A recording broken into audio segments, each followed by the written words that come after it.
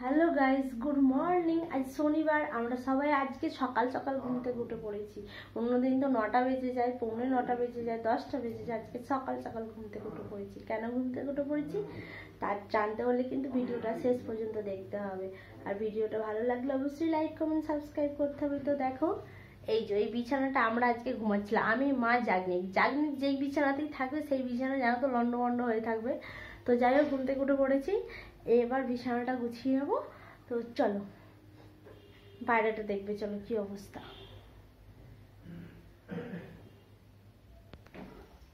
যাও তো, ঠাকুরকে লাউটা দিয়ে আসো, যাও। না না, বিছানা তুলে দাও সব। সব বিছানা উঠিয়ে দাও, আর শোবো না। এই লাউটা দিয়ে ঠাকুরকে বাবু, দিয়ে আসো তো এই বাড়িতে। কি করছ? কি নিয়েছো? বল, বাবার বলটা হাত দিতে বারণ করছি না। তুমি বলে আর হাত দিও না, শোনা। বলটা ভেঙে যাবে বলটা খারাপ হয়ে যাবে দেখো দাও। ব্যাগেই তো তোমার চাবি থাকে দেখো দাও টিফিন ক্যানটা দাও। দেখো কোলে উঠে পড়েছে বেরোবে বলে তুমি যাবে বাইরে যাবে? নিয়ে যাও বেরিয়ে আনো যাবে। এলাম টিফিন ক্যানটা নিয়ে নাও এর মধ্যে। আহ, তুমি যাবে? কোথায় গো? তুমি ঠামুর কাছে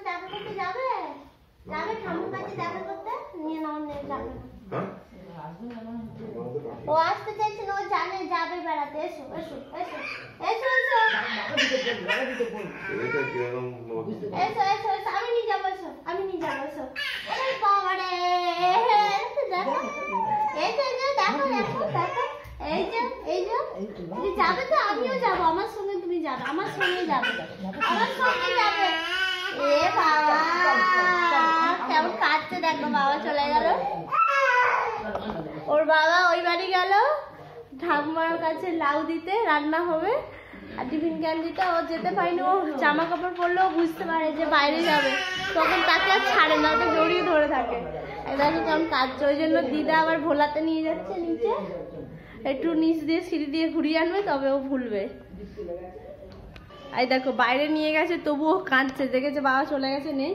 তো এবার তোমাকে নিয়ে যাব আজকে জাগনিকের বাবার ঘরে। তো জাগনিকের বাবার ঘরটা দেখো, আমি একটু চেঞ্জ করে দিচ্ছি। কাল সকালে দেখো কাল সকালে বলি সরি সন্ধ্যাবেলা অফিস থেকে এসে আমাকে বলছে, আমার বেডশিট টেডশিট চেঞ্জ করে দাও, ওই বেডশিট আমি আর শোবো না।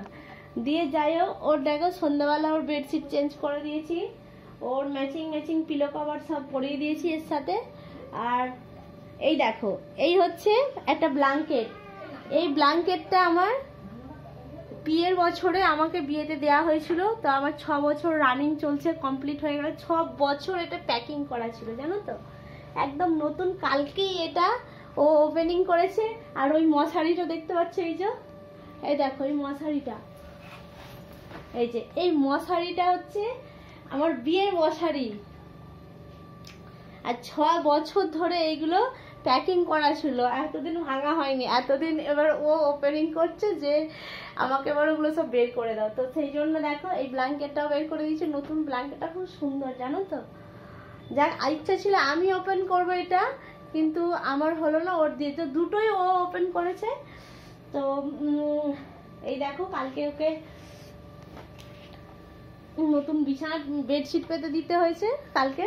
তো চলো, ও এখন, এই ঘরটা এখন ওর দখলে। এই ঘরটাতে এখন ও থাকবে সব সময় ওই জন্য ওর দখলে, আমরা এখন অন্য ঘরে চলে গেছি ট্রান্সফার করে দিয়েছি তো দেখো, এখনও ওই ঘরটা কিছু কিছু আমি গুছিয়ে গুছিয়ে রাখছি। চলে এলে? বাবা নিয়ে গেল না তোমাকে? এ মা, দেখো, নিয়ে গেছিল বেড়াতে। ও বাবাকে দেখতে পাইনি, কাঁদতে কাঁদতে বাড়ি চলে এসছে আবার।